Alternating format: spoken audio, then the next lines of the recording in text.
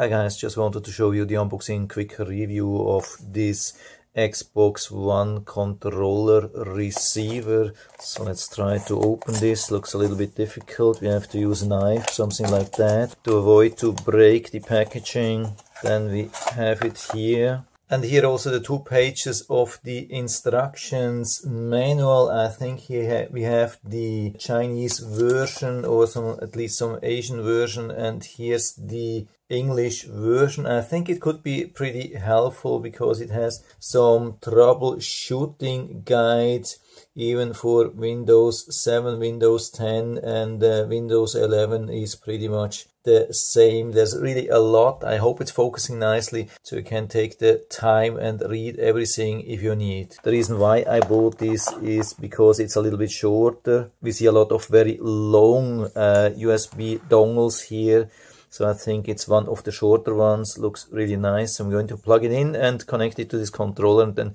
let you know how it worked. It was actually super easy to install. I just put it down there where you can see with the flashlight and on the right side you can see even the light, this white cross.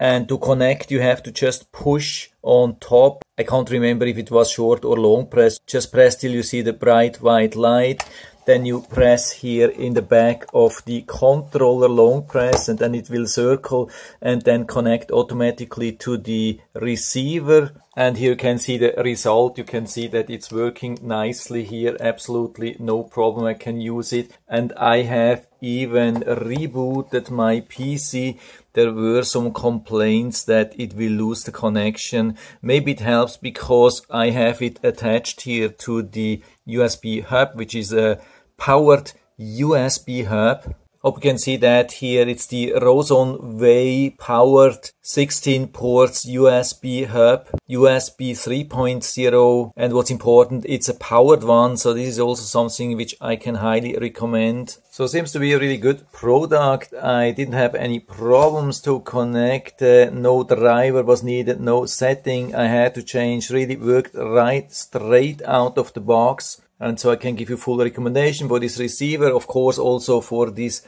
Rosonway USB hub seems to be a really nice thing. And so I hope I've been able to help you a little bit with this video. Thanks for watching.